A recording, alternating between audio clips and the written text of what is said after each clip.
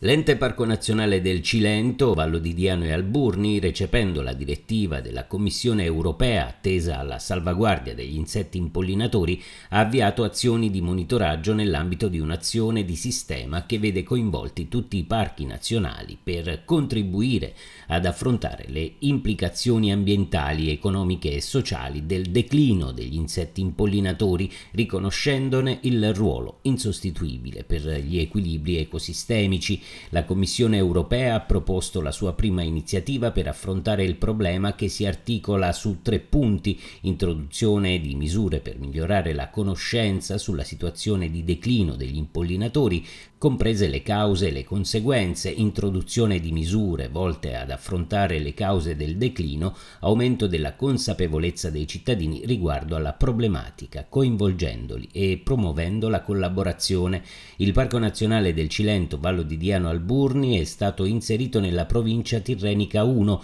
assieme al Parco Appennino Lucano Valdagri Lago Negrese che sarà impegnato nell'elaborazione del piano d'azione per il biometraggio ambientale delle aree protette.